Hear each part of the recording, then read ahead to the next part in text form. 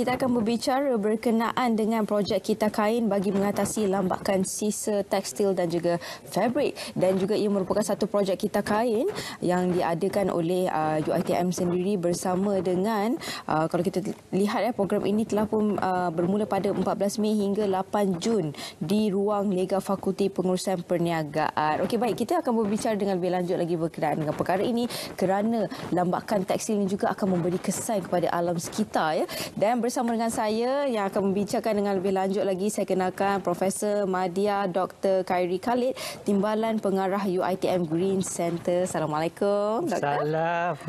Sihat doktor? Baik, Alhamdulillah. Alhamdulillah. Dan juga ditemani oleh Cik Umi Maisara Nasaruddin selaku pembangunan uh, produk dan juga pemasaran kreatif. Assalamualaikum. Ya, Waalaikumsalam. Selamat pagi. Dan akhir sekali, selamat pagi. Ditemani oleh Encik Muhammad Khairul Amirin Nur Ashraf, Ketua Projek Kita Kain.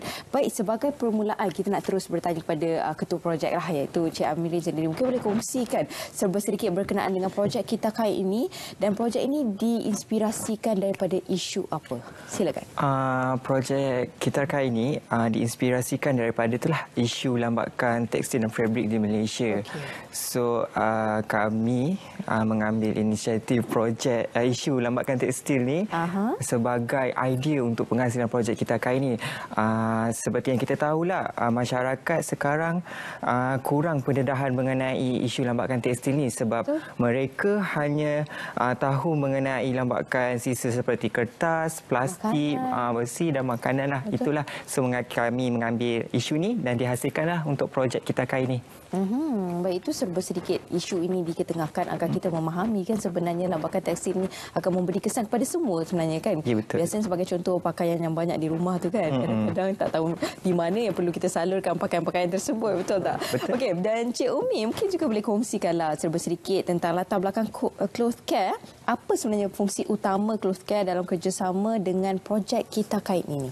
Okey, ya. jadinya um, Clothes Malaysia adalah merupakan uh, salah sebuah perusahaan sosial ya okay. yang ditubuhkan pada tahun 2013 mm-hmm. uh, manakala um, uh, salah satu inisiatif yang dijalankan uh, oleh Clothes Malaysia dengan menubuhkan Clothes Care pada mm-hmm. tahun 2018 mm-hmm. uh, dengan kerjasama ya uh, oleh rakan strategi kami okay. uh, iaitu Selangor Youth Community iaitu mm-hmm. salah sebuah badan NGO okay. dan juga uh, Lifeline Clothing uh, di mana Lifeline Clothing mempunyai ISO certificate ya mm-hmm. dengan gerakan yang kami lakukan ini adalah bertujuan uh, untuk mengurangkan lambakan fabrik terpakai okay. daripada tapak pelupusan sampah. Ah, yep.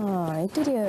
Okey, selaku uh, timba Dr. Khairi ya, selaku timbalan yeah. pengarah UiTM sendiri, uh, Green Center UGC sendiri hmm. ya, mungkin boleh kongsikan juga serba sedikit apa antara uh, fungsi dan juga peranan UiTM Green Center sendiri dalam isu dan juga projek yang diketengahkan okay. ini. Alhamdulillah, ya. terima kasih.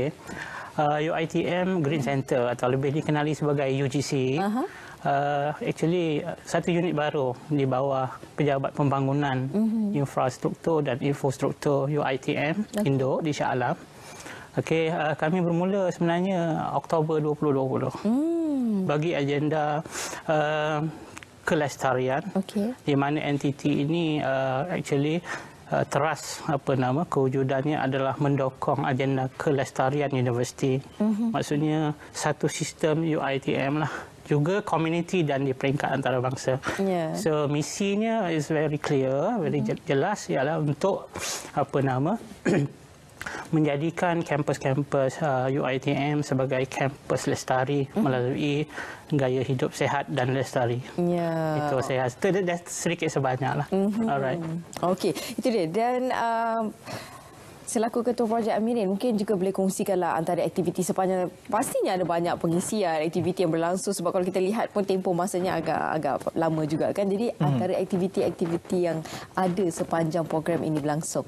Ya. Uh, untuk projek kita kali ini, Aha. kita bermula pada 14 Mei 2022 iaitu program pertama kami ialah Mari Berganti Kain. Okay. Mari Berganti Kain ni konsep dia ialah bertukar uh, pakaian tapi uh-huh. kami ada ubah sikit di situ. Okay. Uh, para pengunjung yang datang ke program kami akan bawa barangan yang berasaskan fabrik. Bukan saja pakaian yang mereka mahu beri ataupun uh, orang kata tak guna. Okey. Tapi boleh bawa barangan berasaskan fabrik macam selimut, tali pinggang, kasut.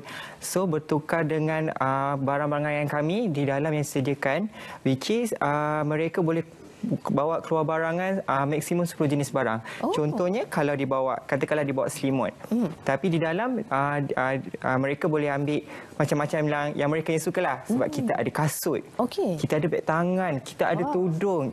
Seronok even even ada blazer sendiri. Saya pun rasa macam seronok ada, ada blazer pun. Oh, Okey. wow. Ah, itulah.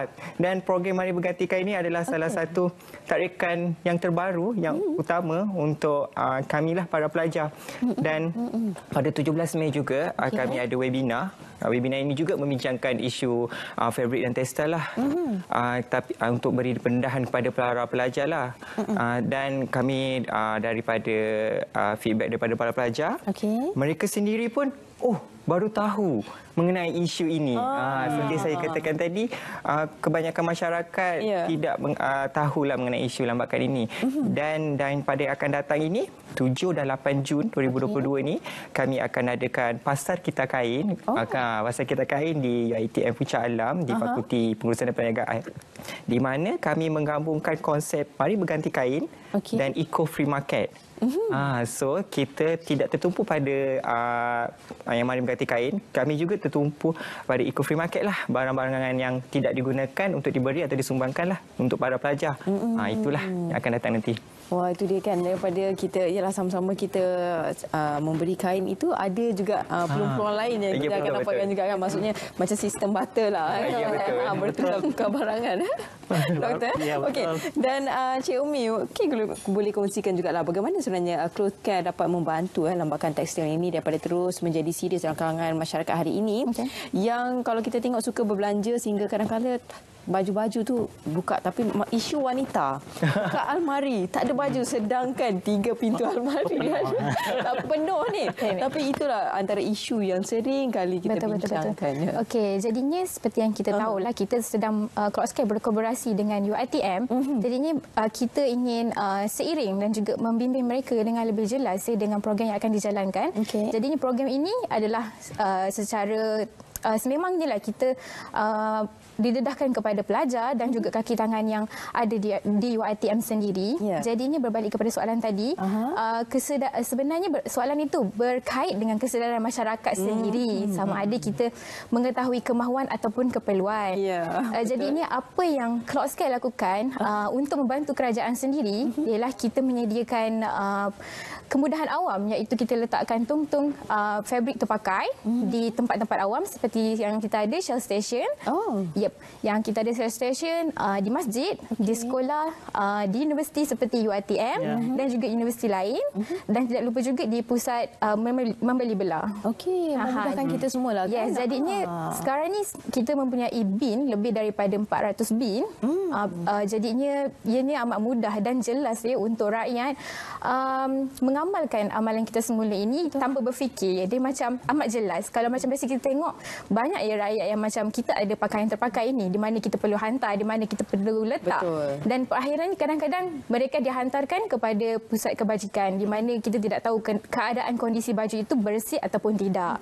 Jadi jika mereka hantar ke tong fabrik, kita sudah pasti kita akan uh, mengitar semula, dikilang, diproses uh, secara lebih efektif. Ah, hmm. so, isu ini juga uh, berlaku ketika banjir tahun lepas kan? Yes, betul. Uh, lambakan baju yang terlampau Yes. banyak Hmm. kerana tak tahu di manakah sumber-sumber yang sepatutnya kita salurkan. Betul. Jadi Ada ada ada sesetengah pakaian Ya. pun mungkin keadaan tidak baik Betul. tapi tetap disalurkan kepada masa banjir. Betul. Macam tu. Jadi itu perkara-perkara yang tidak sepatutnya kan. Yes. Okey dan uh, doktor juga uh, apa antara pencapaian terkini UGC di peringkat UiTM dalam melestarikan kampus uh, lestari hijau. Okey. Ya. Uh, actually the keywords dia lestari lah Lestari, ya. ya. Ah, kalau lestari uh, kalau di, di UGC uh, kami lebih ke arah sebagai melakukan koordinasi dan integrasi Mhm. Okey. semua inisiatif, aktiviti dalam sistem UiTM Mhm. untuk ya ke arah apa nama kampus lestari hijau tersebut. Mhm. Uh, talking about pencapaian actually Uh, kalau uh, universiti actively involved dengan apa nama uh, penarafan ranking lah. Mm-hmm. Kalau yang berkaitan terus dengan ranking ataupun penarafan bagi ke, aspek kelestarian, yeah. UiTM actively involved dengan uh, satu penarafan UI Green Metric mm-hmm. dan satu lagi yang kita UI, UiTM involved uh, the higher education mm-hmm. impact factors of it. Yeah. Mana di, di peringkat UGC, uh, di, di kedua-dua uh, penarafan ini sebenarnya, dia mengambil elemen uh, kelestarian itu sendirilah mm-hmm. dari aspek ekonomi, sosial yeah. dan environment. Mm-hmm. Tapi untuk UGC, kami ber, ber, uh, selaku urus dia kepada uh, UI Green Metric mm-hmm. yang yang mem, yang mengambil apa enam kluster utama lah, mm-hmm. iaitu uh, infrastruktur, air, sisa, hmm. apalagi ya, transportation, uh, juga uh, climate change dan pendidikan. Ya. Semua elemen, enam elemen ni digabungkan uh, untuk uh, pencapaian dalam ranking lah. Mm-hmm. Tapi kalau untuk so far alhamdulillah tahun yang ketiga UiTM telah menyertai UiGM mm-hmm. uh, prestasi universiti telah meningkat mm-hmm. daripada ranking 184 kepada ranking 150 oh. daripada 956 universiti wow. wow. so itu satu achievement yang yeah. menarik betul. di peringkat betul. universiti betul. Uh, UGC also sebenarnya mm-hmm. kita kami uh, actively apa nama yeah. aktif dalam collaboration mm-hmm. Sebenarnya yeah. numbers of apa nama collaborator lah mm-hmm. di peringkat agensi kerajaan swasta mm-hmm. uh, contohnya hari ini kita ada close case ya yeah, betul uh, okey uh, maknanya di yeah. peringkat untuk program uh, kita semula mm-hmm. kain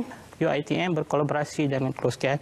Mm-hmm. So actually benda perkara ini akan lebih banyak berlaku ke depan. Betul. Since kita physical betul. event dah boleh buat dah boleh secara dia. baik. Betul, betul. So ke depan insya-Allah lagi banyak event yang akan dilakukan yeah. bersama kolaborator kolaborasi-kolaborasi yang ada lah. Ya, yeah, insya-Allah kita doakan dipermudahkan segala rancangan, segala urusan yeah. terutama daripada pihak UiTM juga dan juga daripada Close Cash sendiri.